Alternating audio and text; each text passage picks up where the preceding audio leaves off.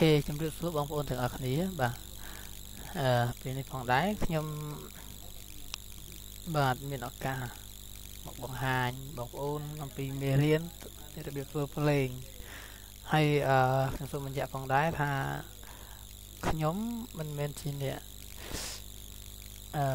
ជំនាញខាងធ្វើភ្លេងទេបើគាត់ថាខ្ញុំស្រឡាញ់ខាងធ្វើភ្លេងអញ្ចឹងខ្ញុំជិះថាស្រាវជ្រាវទៅ ហើយក៏បានដឹងពីរបៀបធ្វើភ្លេងខ្លះខ្លះហើយអ្វីដែលខ្ញុំដឹងនេះក៏ចង់ចែករំលែកដល់បងប្អូនដែលគាត់ស្រឡាញ់ខាងវិស័យសិល្បៈធ្វើភ្លេងនេះដែរអញ្ចឹងបើបើសិនជាបងប្អូនណាគាត់មានចំណាប់អារម្មណ៍ចង់ស្រឡាញ់ចង់រៀនធ្វើភ្លេងសូមជួយចុច Subscribe Channel ខ្ញុំបាទផងហើយអឺ អូខេចឹងកុំឲ្យខាតពេលវាយូរយើង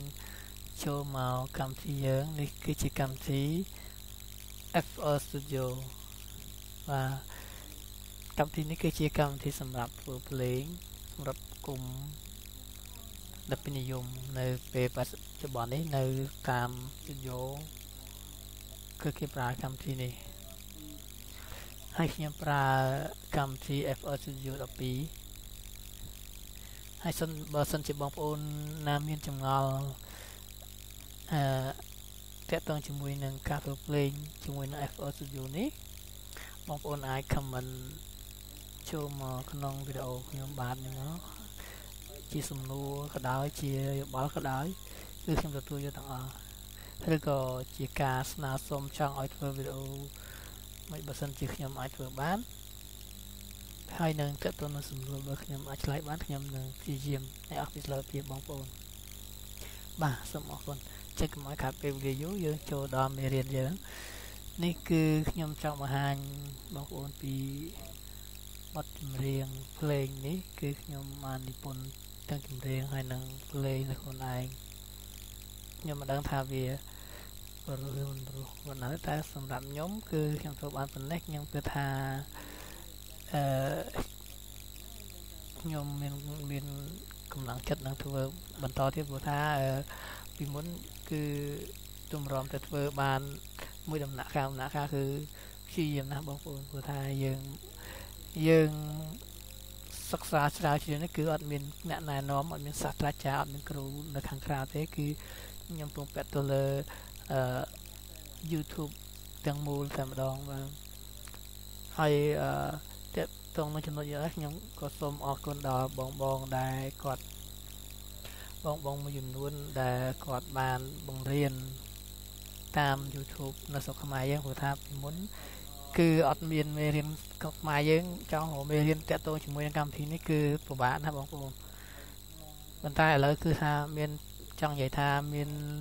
លក្ខណៈទូលំទូលាយជាងមុនពីមុនបើសិនជាយើងចង់ស្រាវជ្រាវគឺត្រូវតែយើង search វីដេអូបរទេស តែឥឡូវខ្មែរយើងក៏មានដែរគឺមានច្រើនអញ្ចឹងសូមខ្ញុំក៏មានឱកាសបានរៀនអរគុណដល់បងបងដូចជា Channel Mr. Macau ហើយបងខ្មែរអឺ Cambodia Studio គឺខ្ញុំបានរៀនដឹងច្រើនពីពួកគាត់ហើយនឹងជាពិសេសដំបូងដែលខ្ញុំដែលខ្ញុំចាប់ដើមដំបូងនោះគឺជាមួយនឹង channel របស់អឺ DJ លេខ DJ អីទេ DJ អីទេអេចឹងអត់អីទេចាំរត់នៅឃើញប្រាប់បងប្អូនចឹងយើងស្ដាប់បងប្អូនគ្នាថាវាមិនដែរបាទ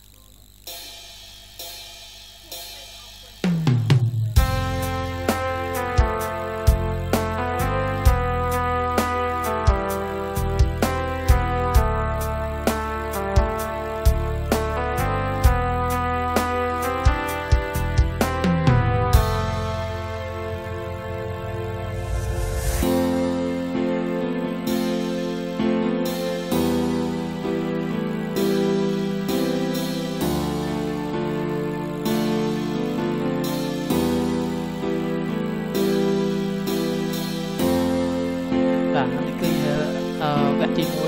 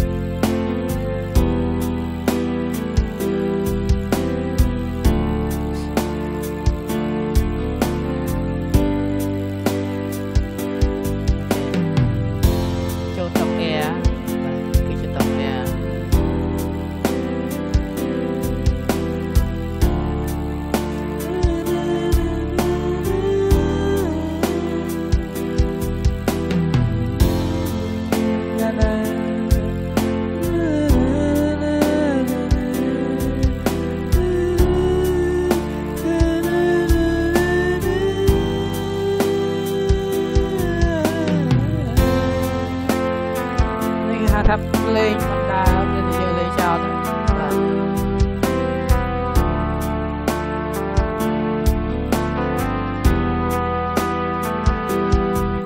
អូខេមកដែរបងប្អូននៅពេលដែលអឺមកស្ដាប់នៅបទចម្រៀងមួយនេះហើយបើសិនជាបងប្អូនចង់ចេះខ្ញុំនឹងធ្វើវីដេអូតាំងពីចាប់ដើមដំបូងរហូតដល់បញ្ចប់ នៃភ្លេងបទចម្រៀងបទនេះដើម្បីអឺជូនជាមេរៀនក៏ដូចជាបទពិសោធន៍ដល់បងប្អូនផងដែរបាទអញ្ចឹងថ្ងៃនេះវីដេអូមួយនេះខ្ញុំសូមប៉ុណ្ណឹងចាស់ចាំជួបគ្នានៅវីដេអូក្រោយ ដែលបង្រៀនពីរបៀបធ្វើភ្លេងបទនេះពីពីដំបូងបាទចឹងសូមអរគុណសូមជម្រាបលា